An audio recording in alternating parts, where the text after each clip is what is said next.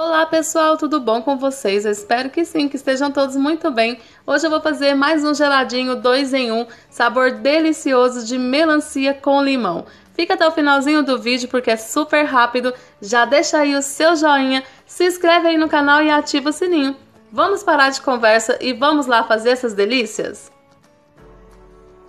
Então pessoal, aqui a gente colocou um litro de leite, 4 colheres de sopa de açúcar, Vou acrescentar também uma colher de sopa rasa de liga neutra, pode ser a marca da sua preferência, é esse estabilizante em pó na cor branca, tá? Liga neutra deixa o geladinho mais cremoso e por mais tempo congelado. Então a gente vai colocar uma colher de sopa rasa. Você encontra em supermercados, em lojas de doces, é bem fácil de encontrar. E agora eu vou acrescentar dois pacotinhos de suco sabor melancia. Eu estou utilizando o suco da marca Midi.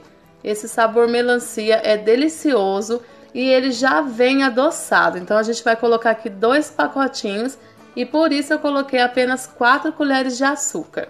Então agora a gente vai mexer tudo muito bem. Você pode também bater no liquidificador desde que você retire todo o excesso de espuma. Vamos mexer tudo muito bem e vamos fazer o nosso segundo sabor, que é bem rapidinho também. Aqui eu coloquei um litro de leite na jarra, 4 colheres de sopa de açúcar, vou colocar também uma colher de sopa rasa de liga neutra. A liga neutra é bem necessário, pessoal, para deixar o nosso geladinho mais cremoso. E vamos colocar dois pacotinhos de suco sabor limão. Dessa vez eu estou utilizando o suco da marca Tang, mas você pode utilizar o da sua preferência. Esse suco também já vem adoçado, tá bom?